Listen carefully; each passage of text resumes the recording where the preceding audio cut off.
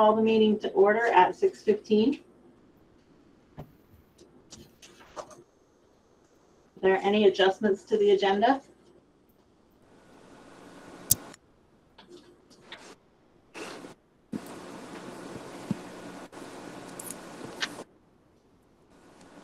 Approve the minutes of Tuesday, November twenty-second. It was a regular board meeting.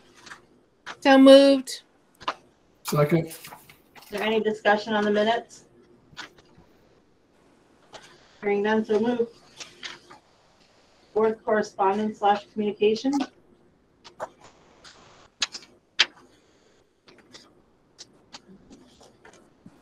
Um, now we'll have time for public comments. So we have a, quite a few public on tonight. Um, everybody's on virtually, right? well, One in person. So on your screen, could you do the raise your hand feature if you'd like to speak? And I'll call on you.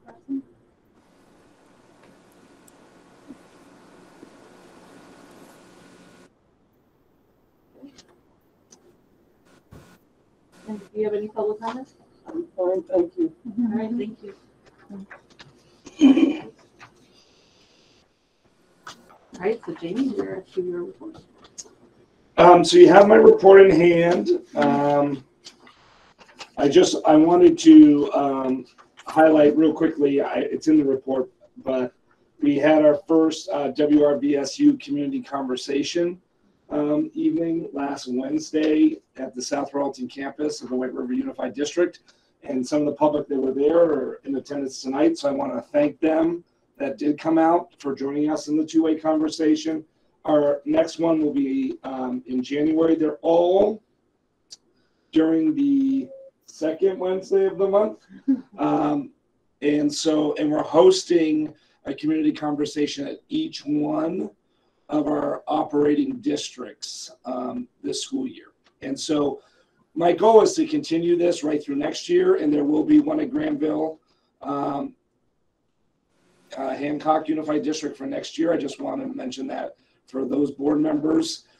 By the time we got this up and rolling was December, and we didn't want to hold one in June because we were worried about attendance, but we will restart it again next fall. Um, and so that was advertised in the Herald. Um, we've got flyers out in, in all of our communities.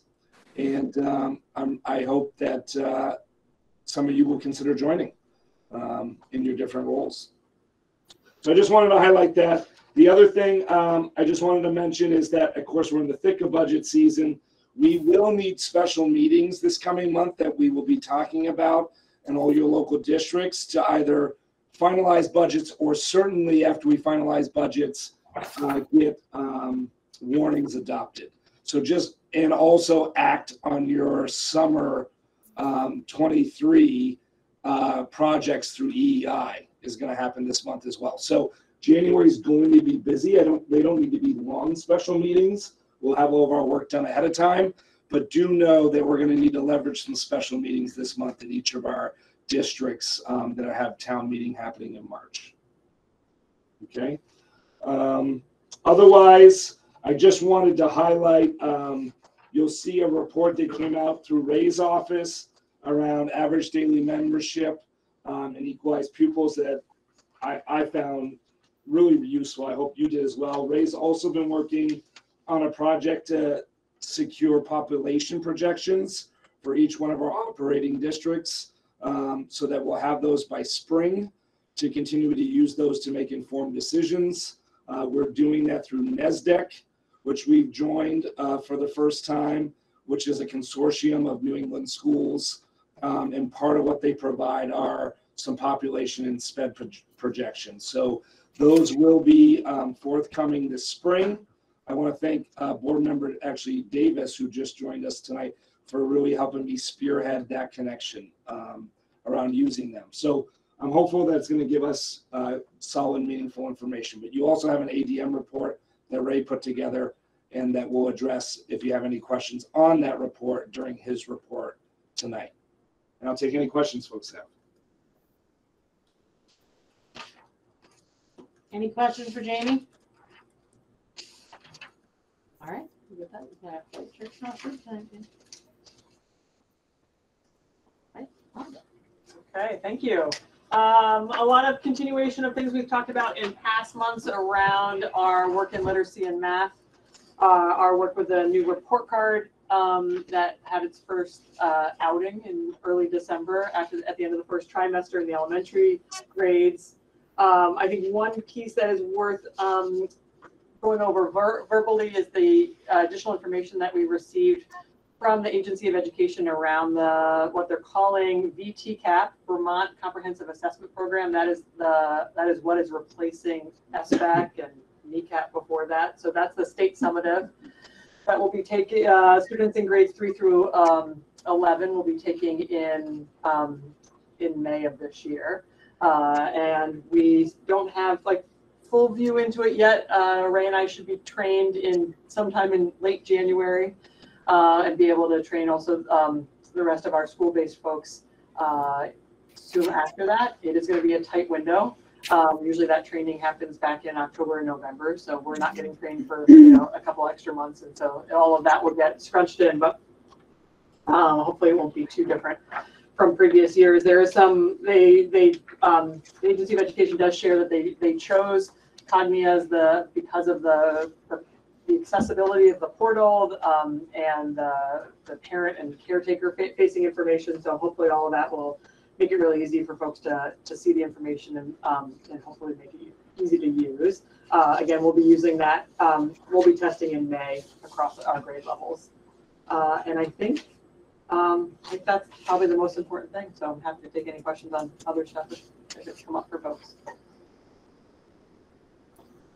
Um, Actually, had quite a few people mention that they didn't really care for the, or they didn't understand the proficiency-based report cards, uh, what elementaries. It was conversation that I had in the neighborhood. Yeah, no, that's They- helpful to they- hear. They didn't see, it. I don't know if that needs a more clarification Yeah. to, to the parents. Yeah, I definitely had to have a discussion with my ex about why our kiddo was getting ones and twos and things like music. So it was tough. Okay, that's, yeah, no, that's, that, that's helpful to have. I I think there's, um, as we, as we shift more to proficiency, thinking about how we are really clear about what the end goals are for, uh, for students at the end of the year and how we, um, how we measure progress at those trimester marks. So, you know, uh, the guidance that we gave is that you are showing, you are, you are kind of, um, you are assessing kids on where you think, where they should be at this time of year. Um, and I think that's a skill that we will continue to have to develop to know exactly what does it mean if, if the if the end goal is to be able to count to 120, what is the expectation in December versus March versus June on getting towards that? Um, and I think folks are still um, learning about how you know how to how to sort of dial that in because it has been you know more of a shift for some of our buildings this year. So I think that's that's helpful feedback. Our plan was figuring that anything new is just, um, you know, you, you do have to get used to it, was to survey our families and caregivers after the March report card to get all that feedback. So, you know, now when you see from sort of December to March, you see what growth has happened, what's different, then sort of get that feedback. But I'll, I mean, if, I'm certainly also happy to talk to folks now.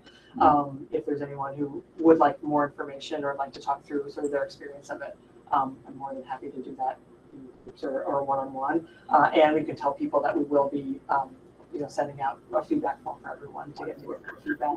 Um, and I think those just, just make sense coming up for the next school year. That's really helpful. Glad you shared that. Yeah, it was, Uh, Andrew? Yeah, um, one question I did have on the proficiency-based report cards is, is there going to be basically one set of proficiencies for first grade and second grade and one set for third grade versus like this, these are the fall um, third grade proficiencies and these are winter third grade proficiencies?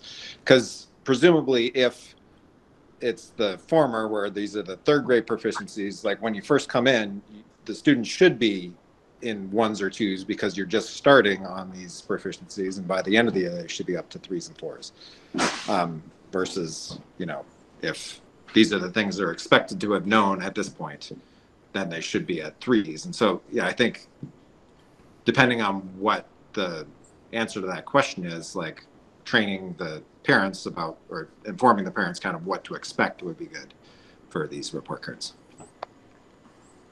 Think That's great. Yeah, that, that's great feedback, Andrew. I appreciate. I think we, I think we could do a better job of, of talking about how we think about the assessment. It, it is one set for the end of the year.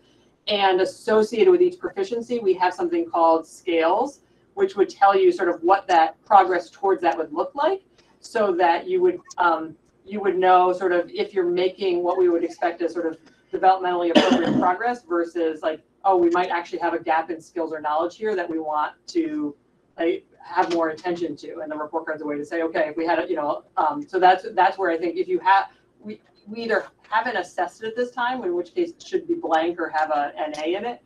Or we have enough information to say the kid is, you know, on, on track for meeting this proficiency by the end of the year. Or we've got some, you know, this is bring- bringing us some questions. We're gonna bring some more resources to bear on, you know, what we're doing on instruction in this area. So I think all of those pieces are, are part of, um, what the report card can help communicate. Um, and we can do a better job of, of helping families understand those pieces, as well as the teachers who, for whom this is new, um, for, some- for some of them, for sure. No, I was gonna say, I think part of this shift is to make certain that we are teaching and communicating what our curriculum says and holding ourselves accountable, because the report card should be a communication tool on what we expect students to know, understand, and do.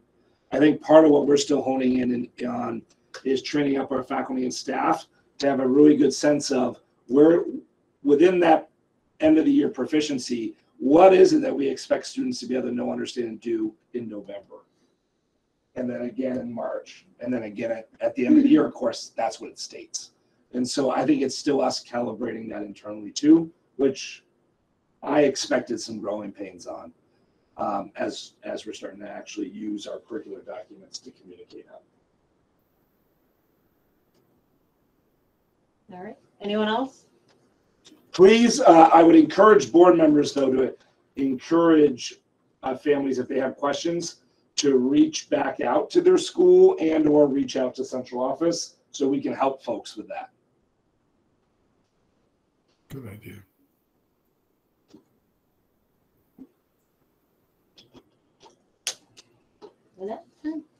Uh, so just some highlights from my report. Um, so the, the spotlight, um, that I focused on this month was, uh, the new definition of special education, which now is actually the same definition, a federal definition. Um, unlike before, um, Vermont had its own definition.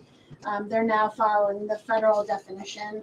Um, which also then, um, Vermont needed to uh, include their own definition of specially designed instruction, um, which they hadn't had before, um, which I think is which is great. It actually um, outlines um, for families and, and special educators what specially designed instruction is and, and what it's for. Um, unlike before, it, there wasn't a real definition for it. At least now it's it's clearly um, outlined.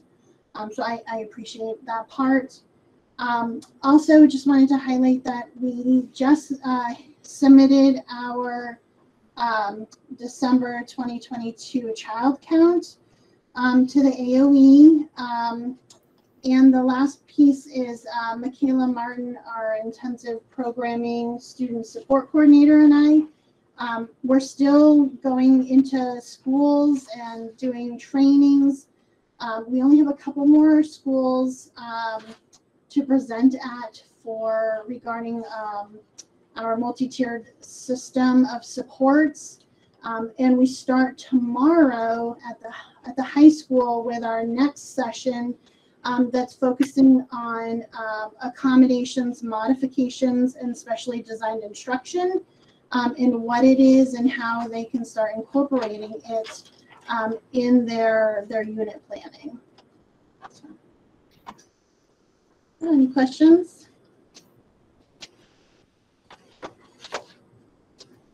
Thank you. So you all have my report. It outlines what's happening in the business office for the month of January throughout payroll and human resources, as well as accounts payable for Johanna, getting all of our annual reports out. Um, we've submitted our first quarterly newsletter to all of our staff last Friday. So the team worked hard to get that out. So that was an informational piece to everybody about what they need to know and important reminders from the business office. And then it's budget season. So we all know what that means. Um, and then FY twenty-two audit update. Do you want to do that now, Jamie, or want to wait? Yeah, we can wait. It's a Okay. discussion item. Okay, perfect. Um, I, in my packet that went out to all of you is our annual financial management questionnaire, which tells you who does what and how throughout the business office. So if there's any questions on that, if you guys are good, I will ask Kathy to sign it as the board chair.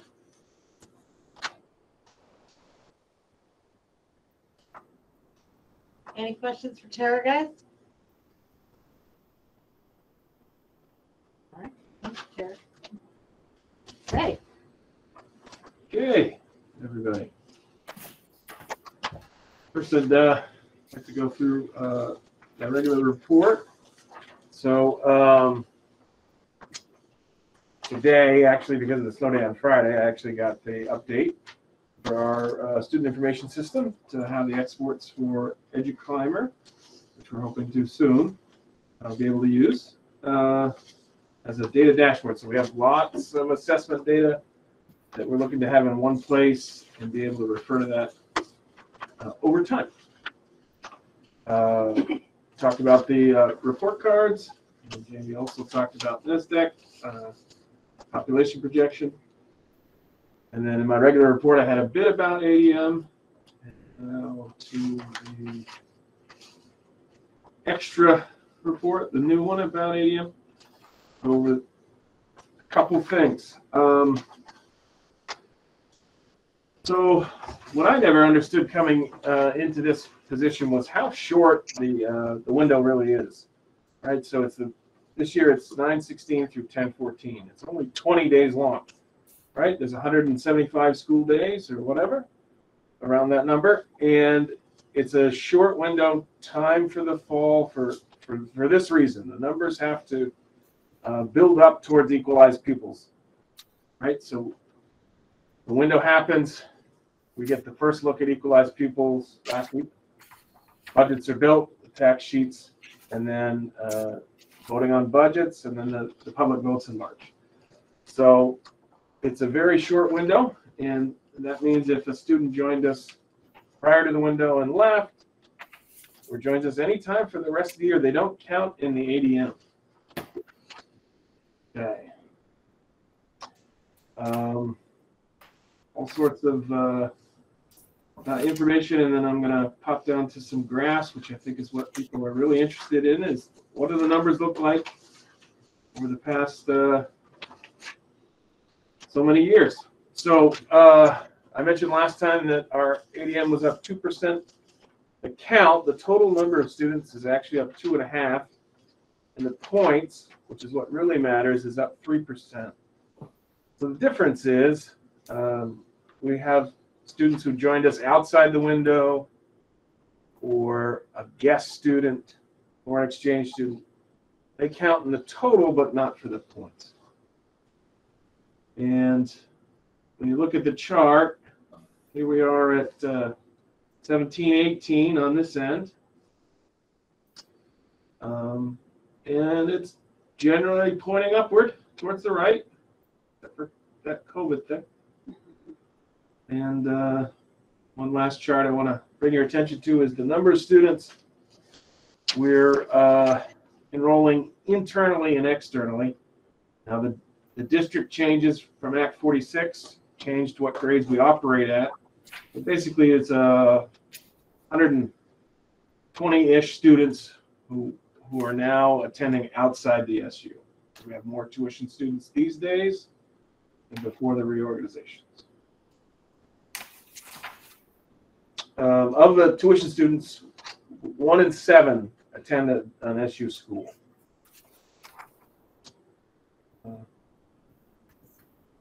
Any questions? Uh, Yeah, I, Ray, I think this report is invaluable for a number of reasons, and I appreciate you pulling the information together and make it coherent so we could understand it both at the district level and at the SU level. Um, a lot of organizations, uh, success, whatever it is, it's a numbers game, and we need students. We need students to attract students, and we need students to pick us rather than homeschool. Nothing against homeschooling, but I think we've got a lot to offer, or a competitive uh, public school or a private school. And I think I find some reason to be fairly optimistic that we're moving in the right direction. If you look at that trend in that last chart that you're showing there, we're moving uh, up, though it's going to take us a few years to match um, fiscal year 17. But it's it's not only so that that our average cost per student can be maintained and be in a reasonable ballpark, but also every student that is not in a tuition classroom, but with us saves us considerable amount of money. And those monies can be best spent improving our educational outcomes and, and what we're offering to our students. Uh, and I believe this is all of ours uh, important.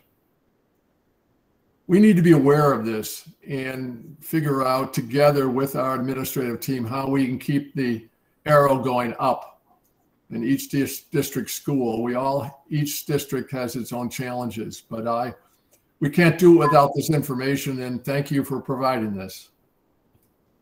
Sure, no problem. It's hard to, hard to know what's, uh, of interest and what's, uh, minutia, but uh, we had a snow day on Friday. If that had happened during the ADM window, it extends the window out, right? It's Twenty operating. So, um, any questions? Thank you. Um, policy committee update. Um, we had a meeting right before this meeting. We moved the flag policy forward. It'll be coming out to your board, so we've moved it out of committee, so it'll be coming out to the individualized boards to talk about. Um, and we have a couple new policies that are gonna come to us next month that we'll be bringing to you, I'm sure. Uh, negotiations council. Uh, we had our first initial meeting and we're working on getting a second meeting scheduled. I would like to put a note out, I don't have it on here, but the superintendent evaluation committee, I've sent a note out to the VSBA and I'll be sending out a note for you guys to get a meeting together on that front here shortly. Um, discussion items. Uh, draft number three of the 23-24 budget. Yeah, so you, you guys have the, the full budget and Tara also provided you with the revenue page, um, which looks similar to last year. Um, and also provided you with what the assessment breakdown would look like, uh, based on the assessment, and I can have her talk through those. But I just, what I wanted to mention to you is, is that, again, like we highlighted last month, we are able to add on two FTE and professional staff in the special education budget. Uh, a full-time special educator and then a, a full-time 504 case manager. But see that budget decrease, and that is due to us realizing a decrease in out-of-district tuitions based on intensive needs, right? So if a student is struggling in our schools due to social emotional concerns, one of the tools we may look to is an out-of-district placement, right? To get specialized therapeutic services. We built a nine through 12 program last year. And so what that's resulted in and is us not needing to place students out at the rate we were. And also has resulted in us being able to bring back some students. And so we have that type of programming at the elementary, middle, and high school level now. So I, I just wanted to emphasize, yes, you're seeing a decrease. That's not a decrease in staffing. Actually, there's an increase in that budget of two FTE. When you look at the SU budget around fiscal services, curriculum, my office, technology, um, and then you look at the special ed, when you combine those, the savings in special ed and the increase to the fiscal services and, and the rest of the operational budget for the the supervisory union, we're only looking at a, increase of sixteen thousand four sixty-seven. So I want to just, I'm really proud of my team's work on dialing that SU budget in. Um, I'm proud of Annette's team's work to be able to bring us forward a special ed uh, budget that I think is going to really do a good job of serving our kids, investing in the right places where we saw that we had some gaps, um, but also do it in a, in a fiscal manner as we're looking at local district budgets where tuition increases are for our school, some of our school choice districts. We are seeing some local district budgets that are high. It was important for me to make sure that the SU budgets were not impacting those local district budgets. Um, and for some of you, you'll see a decrease in assessment. And for some of you, I think you'll see a real manageable increase um, in your assessments. And so, any questions on the overall budget picture before Tara walks you through your assessments? Because it is our hope to take action tonight so that we have these firm numbers for your fourth draft in January for your local district budgets. And we haven't been having any feedback. It would be a surprise tonight if folks didn't feel supportive of the budget based on our last couple months.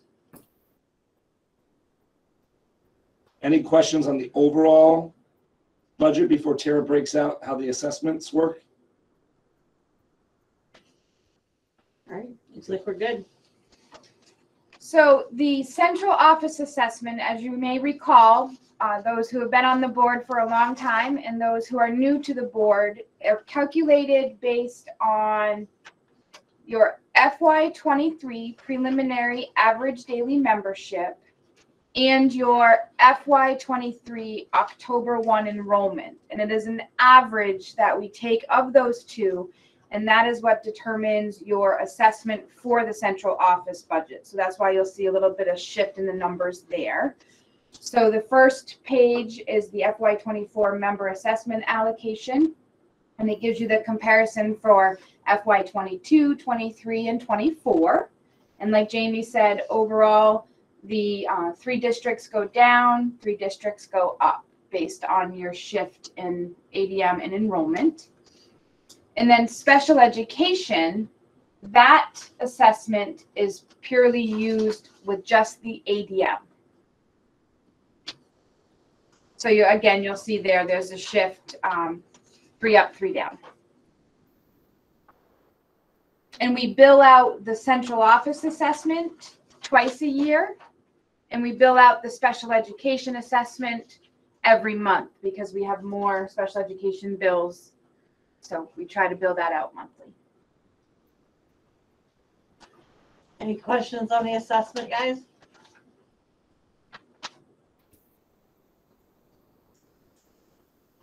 All right, hearing no questions or discussion on these, do I, can I have a motion to approve the budget? Sure. So remember, we have to have specific motions. We'll, we'll, we'll see. Are we ready to make a motion, guys? Yep. All right, Tara has a specific wording for you, Sarah, if you're down for it. Tara, you speak for me very well. Okay, so we're doing it in two motions. We're going to accept the central office first and then the special education. Everything you hear Sarah or Tara says, you just put an S in front and it's Sarah, okay? Love it. So the motion is to approve the fiscal year 2023, 2024 White River Valley Supervisory Union Central Office budget in the amount of one million nine hundred seventy-eight thousand four hundred and twenty-six dollars. All right, and do I have a second on the motion from Sarah? I'll second. Any discussion on the motion? All right, hearing none, I'm gonna do a roll call, guys. So we'll start with Bill up in the corner. Yay. Uh, Andrew, Yes. Sarah, Yes. Maggie, Yes. Will, Yes. Shannon, Yes. Tammy, Yes. Rodney, Yes. Did I get everybody online? Sue. Sue? She's gone.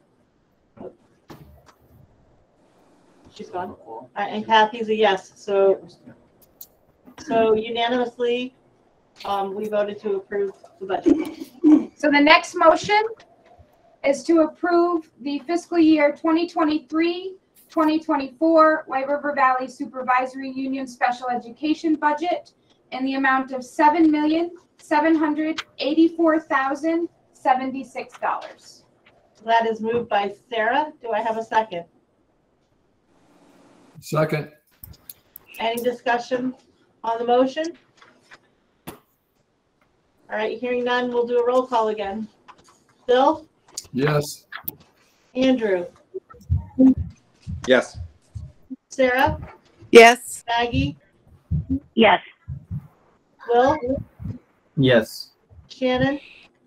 Yes. Tammy? Yes. Rodney? Yes. And Kathy is a yes. So unanimously, the special ed budget passed. Okay. Thank you, guys. Thank you.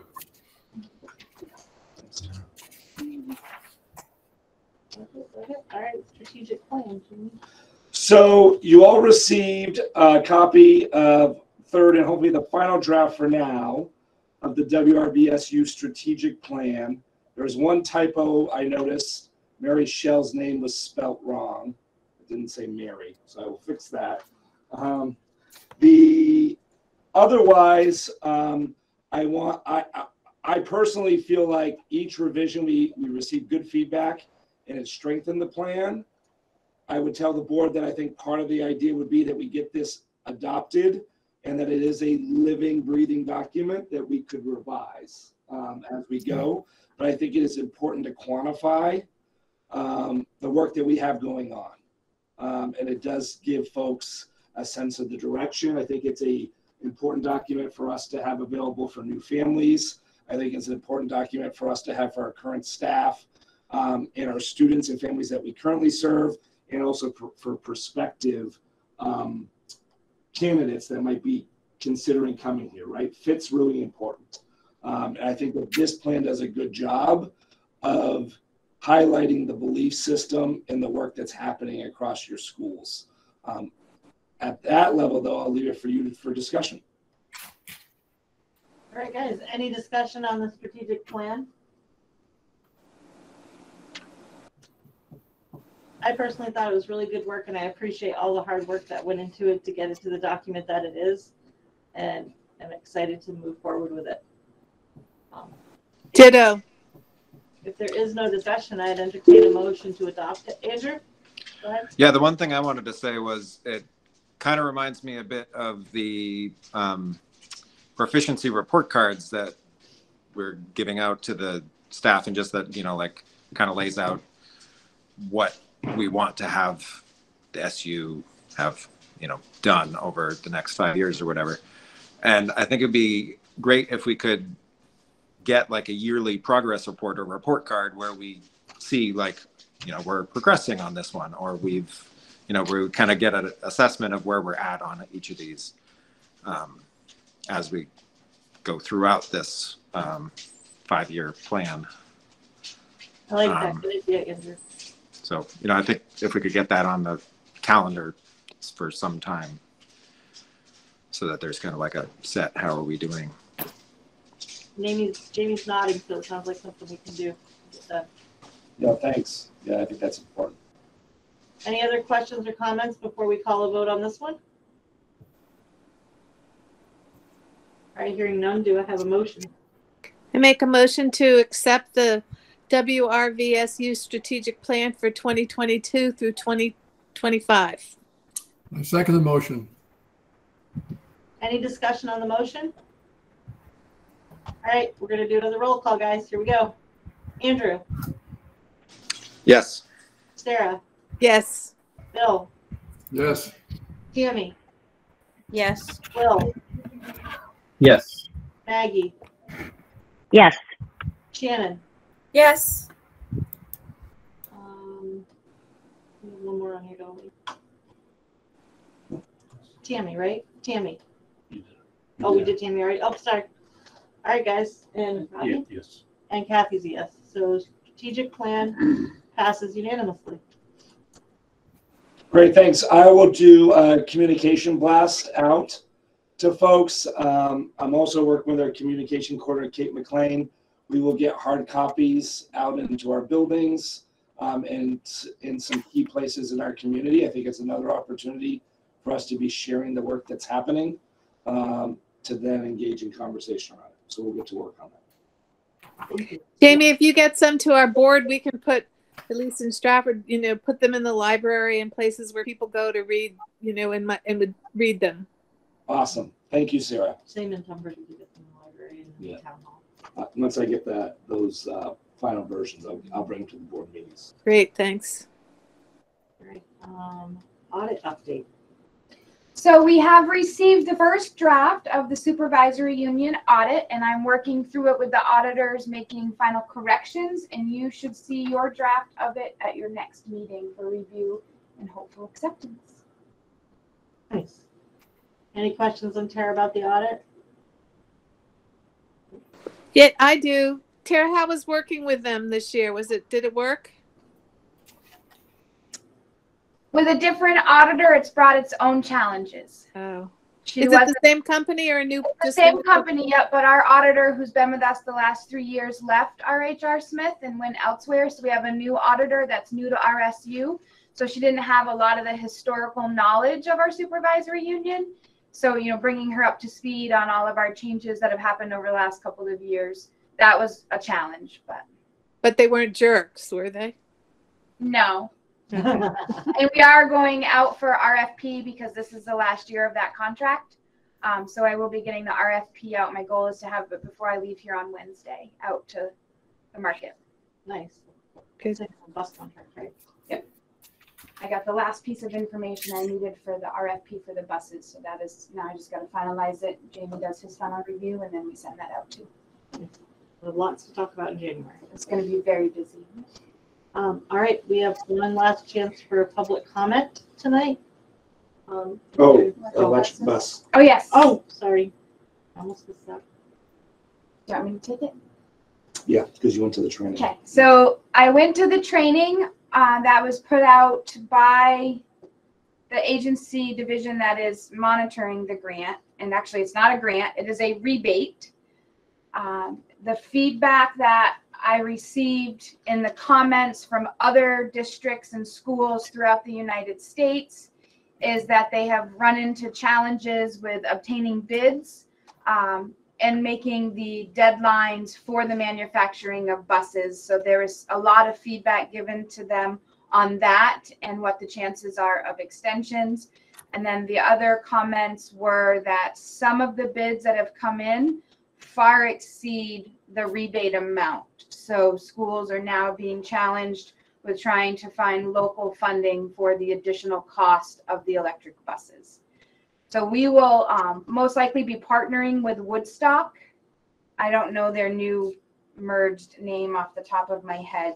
Um, because they, Windsor Central. is it, I thought it was Mountain View. Mountain View, Oh, thank you. sure. Bless you. I knew it wasn't Windsor No, yeah, Central and then anymore. just changed it. Um, they also were awarded the rebate as well. Um, and they, when I spoke to Jim Fenn, who is the business manager over there two Fridays ago, um, he was awaiting some additional information from Green Mountain Power. And then Butler Bus, um, who is currently both of our transportation contract, uh, is working on the bid qualifications for the buses. So what I would say to the board is, I'm not asking you to take any action on this because I don't want us to lock into pursuing it right now. And so we're going to continue to do our research and update you every month at the SU board level um, around what we're learning and what we're finding out before we act on it. So that's why there's there's no movement around action on this. Um, we have not budgeted for having to purchase vehicles that weren't part of the rebate program. So we're going to do all of our research and continue to come back to you with information. All right. Sounds good. More to come is what you're telling us. Every month, yeah, we'll update you with what we're all the finding. All right, guys, now back to pu- public comment. Sorry about that. Um, is there any, please raise your hand if you have a public comment before we finish up our meeting.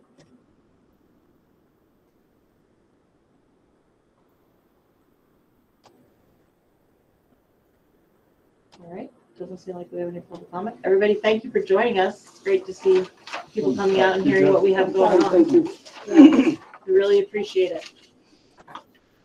Um, Resignations, new hires? Uh, Any other? Future agenda? Um, so the policy committee will have some policy to put in front of the board. Um, and one of the draft policies that we are working on is a board member, uh, conduct policy. I mentioned that in my report, um, and procedures. Some of our district boards have adopted procedures, operating procedures, and, um, some have not. Or you did adopt the, um, VSBA model code of ethics, um, for board members. The idea would be that we create a policy that really says this is how we do business as board members within the SU and what the expectations are. So a draft of that will be coming in front of the policy committee next month. Um, so I just wanted to mention that. Um, and there'll be opportunity for discussion on it um, at your next month's agenda. You also have, um, do we do the social emotional reports SU wide or just at the district? Just a note that at your district meetings, you will be receiving your um, social emotional behavioral reports as part of your data report in January.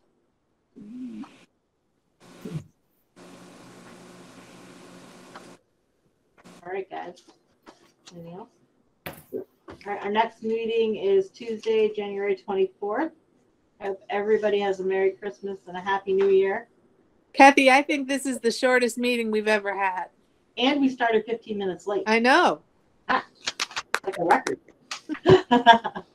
All right, guys, do I have a motion to adjourn? I move to adjourn and happy holidays. Yeah. All right. Thank you. All right, guys, thank you. Thanks, Happy everybody. holidays to you all. Yeah.